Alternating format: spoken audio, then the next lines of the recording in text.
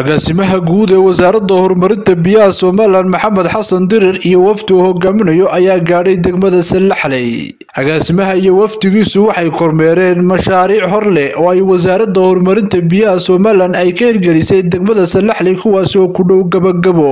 Waxaanay halkaasi warbixino kaga dhagaysteen mas'uuliyiinta degmada sallaxley oo ugu horeeyo gudoomiyaha degmada sallaxley ismaaciil xuseen yuusuf sheene intaasi kadib wafdiga uu hogaaminayo agaasimaha guud ee wasaaradda horumarinta biyaha somalilan maxamed xasan dirir waxay gaadheen deegaanka qoolbuulo leh oo hoos yimaada degmada sallaxley waxaanay halkaasi ka dhagax dhigeen riig biyood wafdiga agaasimaha waxaa ku wehelinaya wasiirka wasaaradda waxbarashada iyo sayniska somalilan axmed maxamed diiriye axmed toorno agaasimaha guud ee wasaaradda tamarta iyo macdanta somalilan maxamed yuusuf ismaaciil maayir ku-xigeenka caasimada hargeysa cabdicasiis maxamed xaashi cagaweyne. Afhayeenka madaxweynaha somalilan maxamuud warsama jaamac madax dhaqameed cuqaal dhalinyaro ka soo jeeda deegaamada uu agaasimuhu kormeerka ku sameynayey. Ugu horeyn waxaa halkaasi ka hadlay gudoomiyaha degmada sallaxley ismaaciil yuusuf sheene waxaanuu soo dhoweeyey agaasimaha iyo weliba wafdiga uu hogaaminayo waxaana ka mid ah hadaladiisii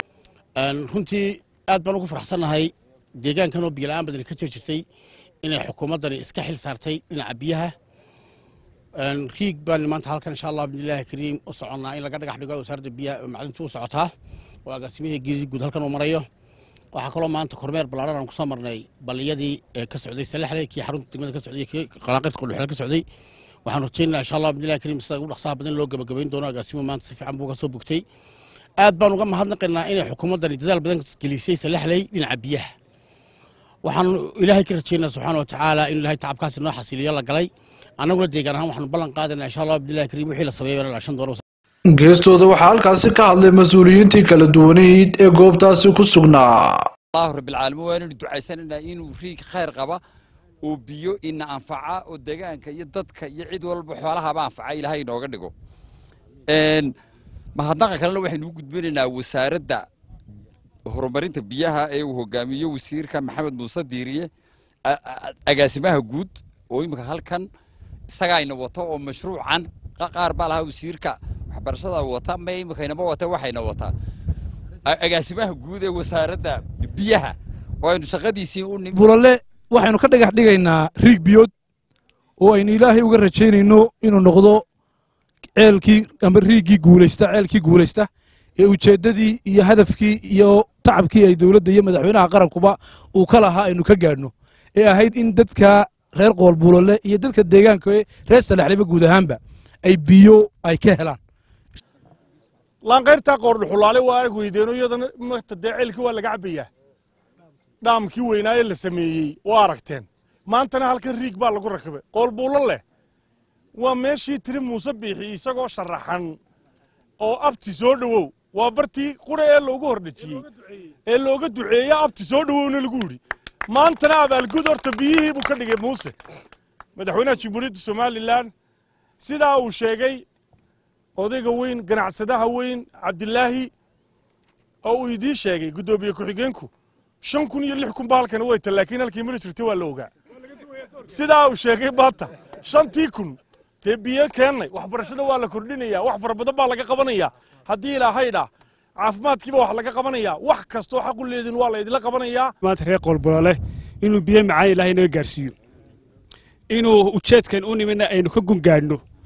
Inay dhulkaa deegaankee badan ee xoolale ee ee muxuu ahaye beerale ay mid intifaaca uu noqdo wasaaradda iyo raggii ka soo shaqeeyeyna aad iyo aad baan ugu mahadnaqaynaa. Waxqabadka dawladdu waxna waa u dhiman yihiin waxna way qabatay.